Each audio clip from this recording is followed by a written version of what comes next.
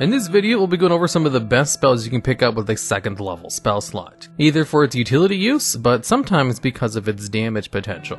And at number 10, we have Lesser Restoration. What this spell does is pretty simple. By touching a creature, you can end one disease or one condition affecting them. If you choose a condition, it can be the blinded, deafened, paralyzed, or poison condition.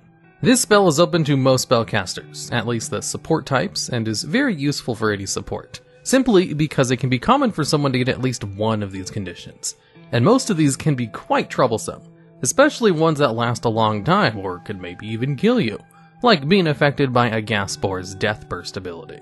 A fun thing to note is that if you have a party that is a bit too adventurous, this spell can be used to remove STDs or cure drunkenness in case your party dwarf or bard makes some bad decisions. And at number 9, we have Heat Metal. How this spell works is when casting the spell, you choose a metal object and then heat it up. Now, RP wise, this could be anything, so if your DM lets you, you could use this to boil water in a pot with no fire. But its main use is to choose a set of medium armor, heavy armor, or a weapon that is made of metal. The metal then begins to heat up, and any creature in physical contact with that metal takes 2d8 fire damage when you first cast the spell. So if they are holding a weapon or wearing armor, they will take that damage. After that, you can use a bonus action each turn to do that damage again, until of course the minute ends or your concentration breaks. The creature wearing or holding the metal object takes the damage no matter what, and if it can drop the item, it automatically drops it, unless they succeed a constitution saving throw. They can keep holding the item, but until the start of the caster's next turn, they have disadvantage on attack rolls and ability checks while holding that heated metal. Which basically means they ain't hitting nobody with that weapon unless they get really lucky.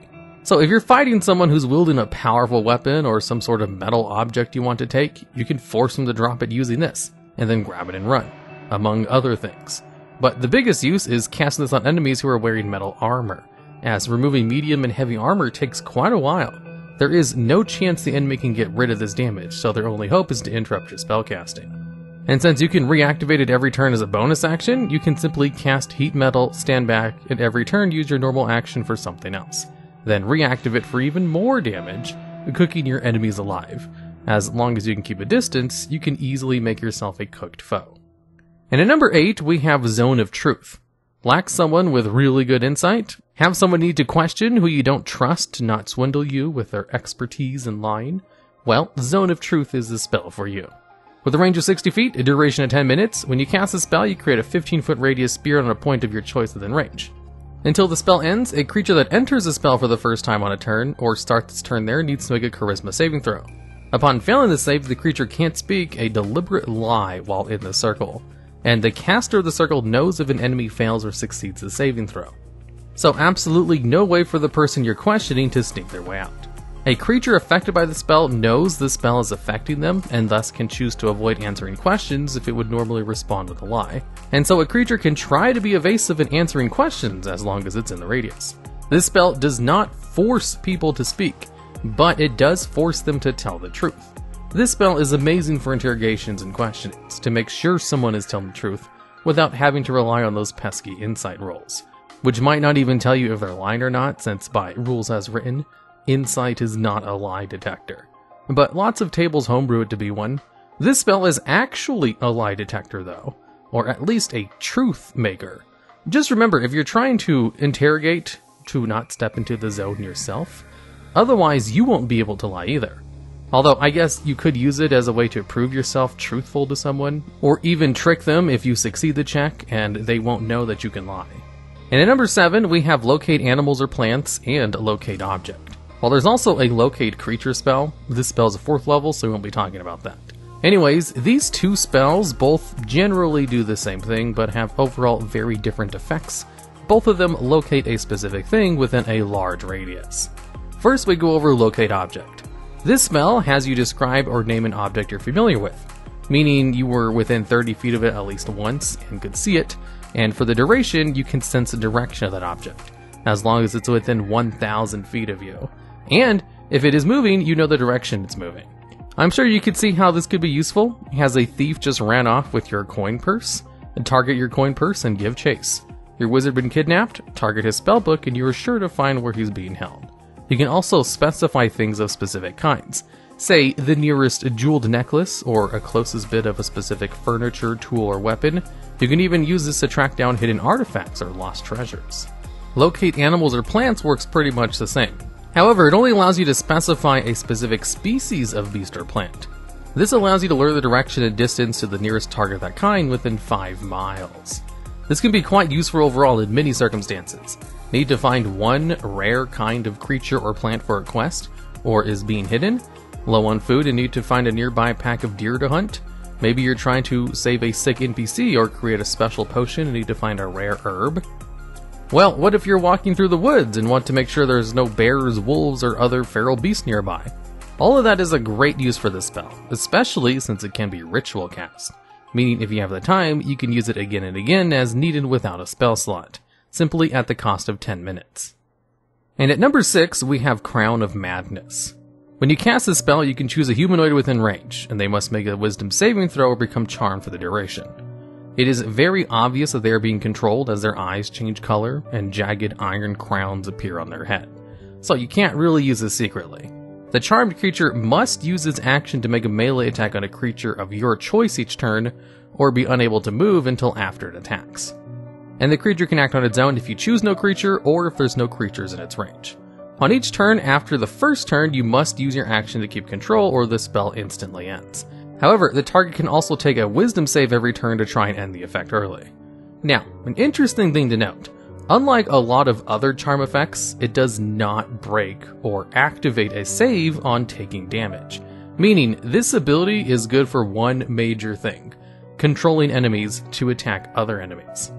This spell can be very powerful when used against powerful melee enemies with low wisdom, because it simultaneously does two powerful things. One, it removes an enemy from the fight, and two, gives you potentially extra damage for the battle if used on a big target. In card games, the ability to take control of your opponent's cards, even temporarily, is very powerful, and it's just as good in D&D as well. That's why probably the biggest limiting factor to this ability is that it only works on humanoid targets. And at number 5, we have the Immovable Object spell. This spell is from the Explorer's Guide to Wildemount and is for Chronurgy wizards, but can be used by any spellcaster with a DM's approval. So just keep that in mind before we go into this. Everybody likes the immovable rod, but how about we turn any and every item into one? Holding an object that weighs no more than 10 pounds, you can cause it to become magically stuck in place. And you and any creatures you designate can move the object normally. Or you could even set a password that suppresses the spell's effect for one minute if spoken within 5 feet. While fixated in the air, the item can hold up to 4,000 pounds of weight, falling if there's more and a creature can make a strength check against your spell save DC to try to move it, allowing them to move it up to 10 feet on a success. So, now, what are some uses for this? Well, let's go over a few. Placing an item behind a door to act as a doorstop is a pretty simple application. However, a thing to note about this spell is a lack of a saving throw, attack roll, or restriction on worn or carried items. So, if you're in melee range of an enemy, you can basically cast this on any items of theirs that you can touch, that is less than 10 pounds to basically force them to abandon that object. Usually, most armor is too heavy to target except for two of them, and something as light as a shirt can be taken off easily. But you can target almost all weapons, shoes, a light t-shirt, or leather and padded armor, as both are 10 pounds or lighter. And only a handful of weapons weigh more than 10 pounds, so unless they have a pike or a heavy crossbow, everything else is a viable target. Also, remember, there's no concentration or rolls involved to do this, so it's pretty situational targeted control.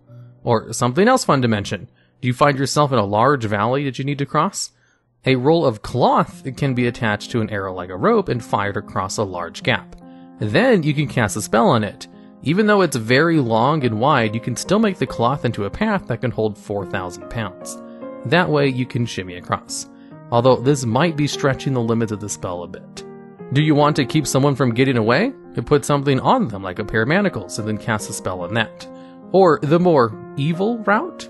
Get a small object, like a pebble, cast the spell on it, then speak the command word so it temporarily loses the huge amount of weight, and then force feed it to a person, wait 5 minutes, and suddenly they're stuck for the remaining 55 minutes.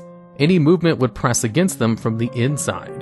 This spell's limits are basically just your imagination, and made even more powerful when you cast it at higher levels, which can make it heavier or even a permanent cast if used with a 6th level or higher spell slot. The only real downside to this spell is the 25 gold cost per use, which could be insignificant or a deal breaker based on your campaign. There's a reason this spell says in its spell description that it requires your DM's approval to even take it, because there seems to be a few oversights with how useful it can be with just its rules as written. And at number 4, we have Pass Without Trace. We all know those issues of a group stealth checks trying to sneak by guards or ambush a bandit camp, but the danged fighter in any of their heavy armor or the ranger in their scale mail have disadvantage on their stealth checks, as the clapping of their AC alerts the guards. So, how do you counter that? Well, by casting Pass Without Trace. Lasting for up to an hour with concentration, it creates a veil of shadows that causes silence to radiate from you, masking you and each creature you choose within 30 feet of you, concealing yourself, of course, to gain a plus 10 to their stealth dexterity checks, while also making you and your allies immune to being tracked, except by magical means. No tracks to track or traces to trace. As mentioned before, this is a great way to get through a group stealth check, even if your party is full of people low dexterity and horribly loud armor and gear because of how great a plus 10 is, even if they have disadvantage on those stealth checks. It's also a great way to divert people from trying to track you, again, as long as they don't have a way to magically track you. But with how useful stealth is in most settings and games, this is definitely an A tier spell to pick up, or for at least one person in your party to have. And at number 3, we have Prayer of Healing. This spell is rather simple 10 minute cast time, 30 foot range, and is usable by clerics and paladins. Because of its 10 minute cast time, this is something you almost never want to use in combat. However, its effects are far too good to pass up, being by far the most efficient healing spell for its level. And how so? Well, it heals up to 6 creatures of your choice that you can see within range, and each creature heals for 2d8 plus your spellcasting modifier. The only downside being is it does not work on undeads or constructs. But let's compare it to a spell like Cure Wounds, a first level spell that heals. This ability heals one creature that is not undead or construct for 1d8 plus your spell mod. So at the cost of a one higher level spell slot and a 10 minute cast time, you now heal not only up to 6 times more targets, you now also heal them for 2d8 plus spell mod instead of 1d8 plus spell mod. Of course, Cure Wounds is still good for its instant healing. The simple, raw healing energy of Prayer of Healing is undeniable and as long as you have the time after combat, you can quickly give your entire party a health boost countered by no other spell for a fair few levels. You can even increase a level of healing by 1d8 for each spell slot level used. Again, for example, maxed out at a bonus of 68 worth of healing, compared to something like Cure Wounds at higher levels only increasing by 1d8 each level as well. Of course, how much a first level spell slot is worth compared to a second level is debatable, but rarely can one dish out 10 times more healing with a single spell slot increase. And at number 2, we have Silence. This spell is super simple. First off, it's a ritual, so you can cast it as you wish, when you wish, simply at the cost of 10 minutes of your time, or as one action if you want to cast it instantly at the cost of a spell slot. This spell has one simple effect. It creates a 20 foot radius sphere of absolute silence. But what this accomplishes is a few things, so let's go over it. First off, no sound can be created within the 20 foot radius sphere, and no sound can pass through it. Any creature or object fully in the area is immune to thunder damage, any creature inside is treated as deafened, and lastly, anyone within the radius cannot cast spells that require a verbal component. So, what are the uses for this? Well, the coolest use is you can cast onto a group of enemy spellcasters, forcing them to stop casting since a vast majority of spells require a verbal component to cast. And if they simply don't have the movement to get out of the radius that turn, do not have non verbal spells, or are trapped inside of a room, they are left to do literally nothing other than panic because they can't use most of their spells. And they can't even call out to their allies to target the person channeling the silent spell. Another use is in case you need to do something very loud and don't want to alert literally everyone in the vicinity. And another example would be fighting an enemy who uses mostly thunder based attacks.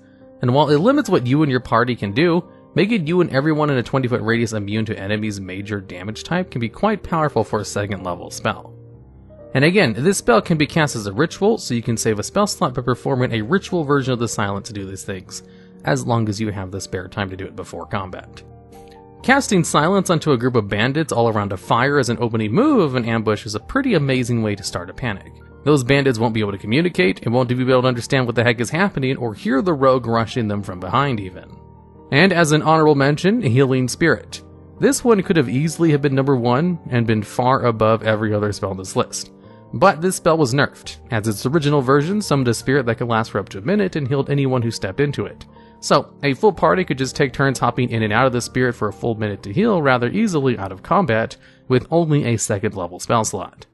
However, it was a errata to only be able to heal a specific amount of times instead of an unlimited amount, being 1 plus your spellcasting modifier. This changed the spell from being quite possibly the most broken spell in the game to a rather meh healing spell. And at number 1, we have Spike Growth. Spike Growth is a spell with a couple of parts. First being you select a point within range that creates a 20 foot radius of hard spikes and thorns. That circle of area becomes difficult terrain for the duration of the spell, having speed through the area. And when a creature enters the area, or while within it, they take 2d4 piercing damage for every 5 feet they travel. So to get from one side to the other, a creature would take 16d4 worth of piercing damage. However, the transformation of the ground looks natural, meaning it will not look out of the ordinary, be it a moss or vines or a bit of bristle. Which means that a creature that did not see the spell being cast must make a wisdom perception check against your spell save DC to recognize the terrain as dangerous. Even if they succeed the save, they still get hurt going through it. They just know ahead of time that they will get hurt. If they don't succeed, they might start running into it and quickly realize how hazardous it is. But just remember, a creature can stop its movement at any point during their turn. So they can just choose to stop as soon as they take damage and not run headlong through the full area of effect. There are a fair few ways the spell can be used. First off, the fact that it makes a 40 by 40 area into difficult terrain for up to 10 minutes is rather good on its own. But the fact that it also does 2d4 damage automatically with no saving throws for every 5 feet traveled can be very powerful. See, four castle guards need to take out, place this between you and them, or even directly on them. They now need to take 2d4 damage for every space they move and at half movement speed. Or if you're being chased through a hallway or corridor, or some sort of area you can funnel enemies through, you can put this spell behind you, slowing or even killing those chasing after you. The best part is if an enemy does not succeed the check or see you cast the spell, they will run 5 feet in, realize that they're hurt, and then run 5 feet out, taking 4d4 damage, and also having moved 20 feet of their movement for that turn because of the difficult terrain and since it lasts for up to 10 minutes, it can do an insane amount of damage overall, acting as a killing floor of damage of difficult terrain for entire armies. This is the spell to use if you want to completely stop the movement of enemy minions, if it doesn't just outright kill them when they move. A spell that does a fair bit of damage on its own is strong, but not the best. One that has utility can be situationally useful, but are usually somewhat niche. But the best spells are the ones that can do both and this is why spike growth is at number 1. Alright, and that's the video. This is Editor Selty, and as Hiru, or as we call him here, the D&D logs, didn't record an outro, it looks like you're stuck with me.